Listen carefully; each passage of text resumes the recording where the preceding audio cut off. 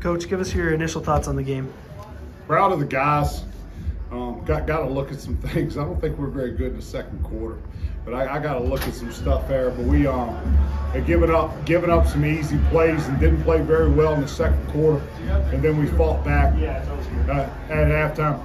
We're up, got a chance to blow the game out, go up 24 to three, throw an interception. Um, we never rebounded from it. We let them drive a field and score a touchdown, and all of a sudden it's 17-10. And then we had something else go bad at the end of the first half. They oh the, the late hit on the quarterback. They drive the length of the field and score on us again. We go down at halftime 17 to 17 you, you, go in there 17 to 17, you've just had a really bad 15 minutes on the field. Our guys could have folded. They could have not played well, but we didn't. Our guys came back out in the second half and played it just like it was the start of the game. And Regan played well. Played well in the second half. Um, hats off to our defense. Our defense outscored their offense seven to nothing in the second half, and their offense is pretty darn good. Coach Justin Miller, two touchdowns, two interceptions in this game had that completion percentage more where it was uh, a year ago. What did you see from him tonight? I don't have stats. What, what were the stats? It was 68% completion, 230 some odd yards, and two touchdowns. Two I'm, I'm pretty salty about the way Justin played in the first half.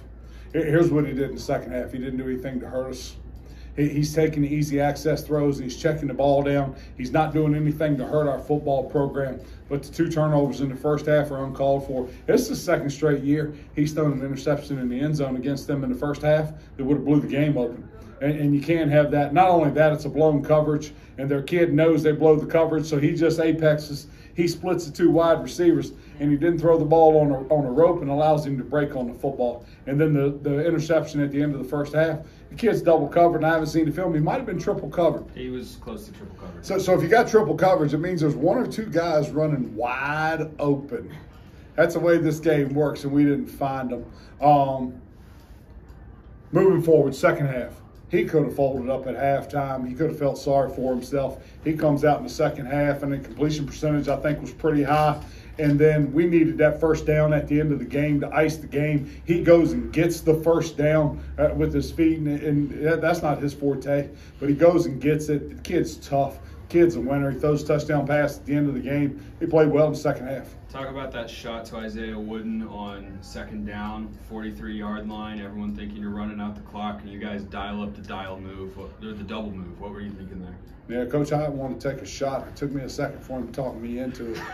I even gave one of those out out loud because if you throw if you throw that thing and it's incompletion, they're gonna get the ball back with some time on the clock.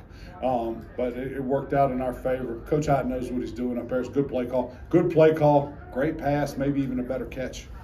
Isaiah Wooden was bottled up in that first half. Was there a focus at the break to try and get That's him more fault. involved? That's our fault. It's coaching staff fault. Coaching staff has to do a better job. When, when you're when you have the best player in the game, the best player on the field, it'd be pretty smart of you to get the ball in his hands, right? It just makes sense. Let him touch the ball a couple times.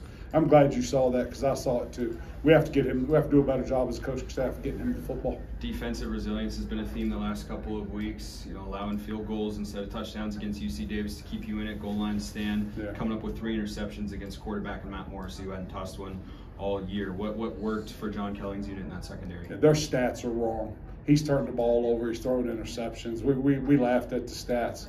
make make Regan look like a stat guy for BYU or Utah now. Um, they turned the ball over four or five times this year, and you look on the website, it said zero turnovers. I went, nah. I'm watching the film like I'm watching you turn the football over. But he, um, opportunistic, uh, opportunistic our DBs were um, all the way up to the pick six at the end of the game. Um, but but some good ones there. Um, Jordan Washington, grad transfer, his first pick with us. Lecarrier, Pleasant, uh, Johnson, Pleasant, Pleasant Johnson, LPJ, his first pick with us. And, and then Cody Coleman, that might have been his first pick. He's been with us two years, might have been his first. I know it's the first pick six of his career.